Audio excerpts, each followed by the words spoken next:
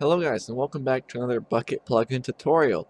Today I'm going to show you how to use the Vault API and more specifically the economy part of it. There's three parts to the Vault API, economy, chat, and permissions. Today we're only going to be going over the economy. Now there are many many aspects of a Vault economy plugin well, what are we making? Are we making the plugin that handles the economy, that stores the player's money, or are we making a plugin that just modifies the player's money? Today we're going to be focusing on just modifying the player's money, which is pretty simple, but setting it up is a little more complex. Before we start, you want to make sure to add Vault as a dependency for your plugin. If you don't know how to do this through Maven or Gradle, which is provided by Vault, I'll put a link in the description below for that code. What you can do is go up here to File, project structure, and then where you had a dependency for your CraftBukkit jar, just put in the dependency for the vault jar right next to it and make sure to set it to provided because you don't want it to compile with the plugin. Anyways, now that we have that out of the way, we can go ahead and start. The first thing we need to do is hook into the Vault plugin. Now with that link I have for the code for the Maven and Gradle code, if you scroll down a little further, you will find all this code, which is helping you uh, set up the Vault API. But I'm going to do mostly be explaining here. So what you need to do is just copy this thing, this this one method right here, and put it right here inside of your code. And then you can go ahead and import all of these different fields. And I usually prefer to keep the variable eco instead of econ, just because that makes more sense in my brain. It's easier for me to follow and understand if I just set it to eco, not econ, because I'm like, who uses econ? Anyways, enough of that out of the way.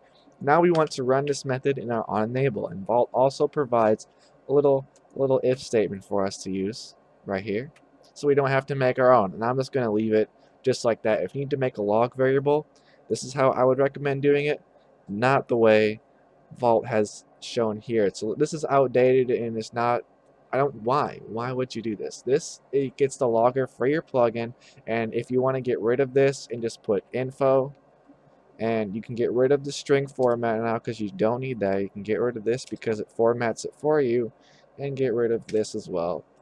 And there we go that's how that's how you should do it not the vault way.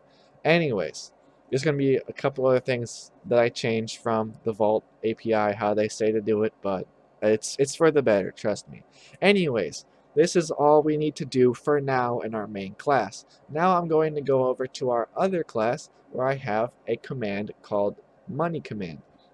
Now this command, when it's going to run when the player tests slash money and there's going to be two variables. The first one is going to be either deposit or withdrawal and the second one is going to be the value of money that they want to deposit or withdraw. So if we want to do anything with the Vault API in this class, we need to get an instance of it.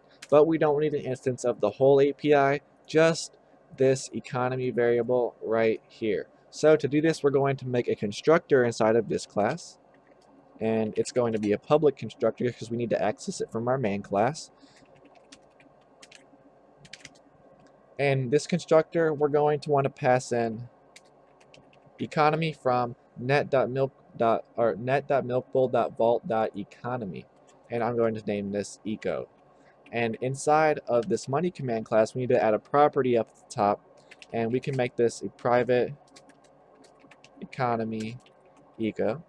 And then we can set this economy to economy. There we go. And now we have our instance of economy inside of this class. So that's all good and dandy so far. Now whenever the player types in this command, I want to make sure that the second argument is 100% a number so we don't get any errors whenever we're trying to format it and use it inside of different methods.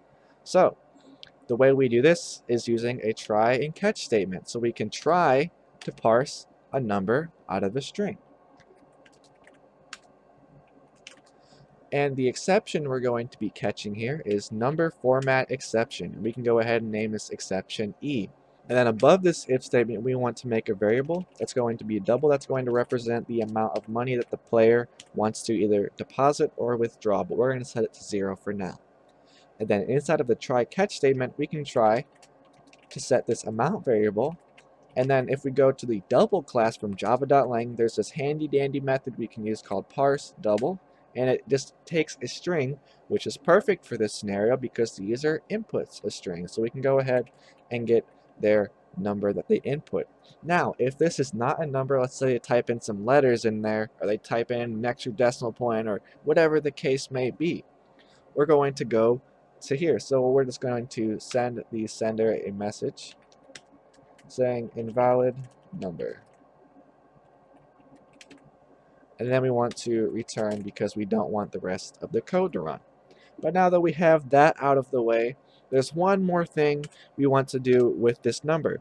We want to format it so it looks nice and pretty whenever we send the player a chat message saying they've either deposited or withdrew a certain amount of money. So Java has this really nice class we can use. Once again, they have everything. I swear, they think of everything. So we can go ahead and use this class called decimal format and we can we're going to make a new instance of this class that we can just call format for right now. This doesn't really matter what we name it. And we're going to create a new instance of the class as I said before. And here we're going to put the format that we want. So you always want to put 0.00 at the end if you want to add the two cents because these are the three numbers that will always show no matter what. Let's say you only have values in these two spaces, then this one will be 0. Let's say you only have a value in this space, then these two will be 0. These are defaults, these are constants. These will never change if you don't input something in that position. But let's say you want to have the option to add commas in the thousands place, but not every single number has a thousands place. What we can do here is insert some hashtags, or not hashtags, sorry, number signs. You didn't hear me say that.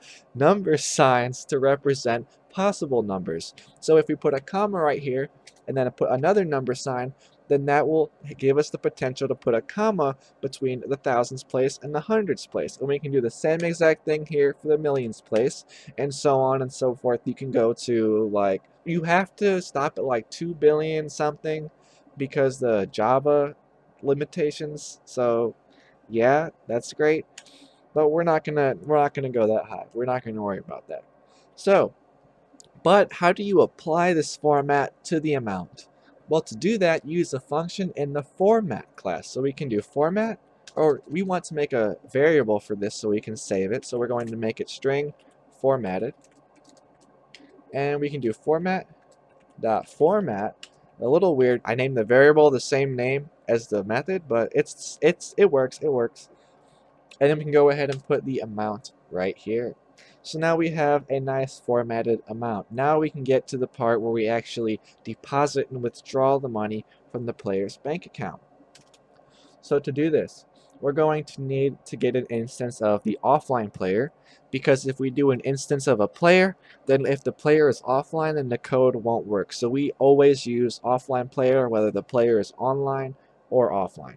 So I'm going to make two variables, one for the online player and one for the offline player because we're going to use both of them. Alright, and there we go. We have those two variables set up just like that. Now let's get to actually depositing and withdrawing the money. Now Vault wants you to do something super weird. Let me show you the Vault way first. Don't write this down yet, just in case you like my way better. But let me show you how Vault prefers to do it. What you do first is make a variable called economy response. And this can be named anything. I'm going to name it ER for simplicity. And this variable is going to be what you actually deposit or withdraw. So what you do is you use your economy variable from up here and you can either deposit or withdraw from the player. So in here you put your offline player variable and your amount. Just like that. Alright? But you're not done here. You also want to check to make sure that the transaction was a success. So what you do for that is do er dot transaction success that will return true or false. And then you can put the true code here and the false code in here. But the thing about this is there's not that many error messages so I don't see what the real purpose with this is. We're gonna get rid of all that code because we don't want any of that. This is the way I prefer to do it. So first you want to get the balance of the player that you're either depositing or withdrawing money from. So to do this we can do eco dot get balance offline player and then you can store this to a variable and do whatever Now that you have the player's balance, you can make sure that after you deposit the money to their account, it does not go over the cash limit for that server. And same thing if you're withdrawing, but to make sure it doesn't go under the cash minimum for that server. And that's how I would recommend doing it. But then after you do that, to get the balance and check to make sure that everything's all good with the transaction, then you can just do eco.depositPlayer, just like beforehand, offline player, and the amount. And then you can go ahead and send them a message and let them know that the transaction was a success.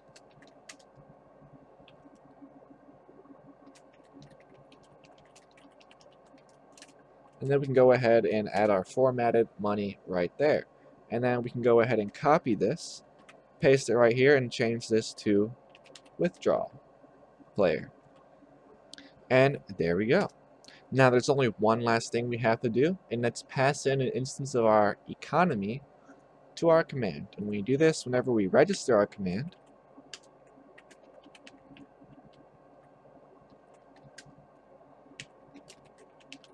Here we can just pass in the economy variable right there. And we're good to go. I will see you guys in the server. Now, there's two things you need to make sure you have installed on your server. The first thing is Vault, and the second is an economy plugin. I'm using Essentials, but you can use whatever. So, I'm going to type in slash money. Or first I can check my balance to show you how much money I have. I have $5 in my account currently. And if I do slash money, deposit, and let me say I want to give myself a thousand dollars. You can see I successfully deposited a thousand dollars with our nice format and we can go ahead here and check our new balance. You can also send the message to the player of their new balance after you add the money. It doesn't matter, you can get super creative with this. Thanks so much for watching. If I helped you out, make sure to leave a like. If you have any ideas for videos or you just need help, let me know down in the comments and I will see you next time. Goodbye. Nice. The mutt's nuts, in fact.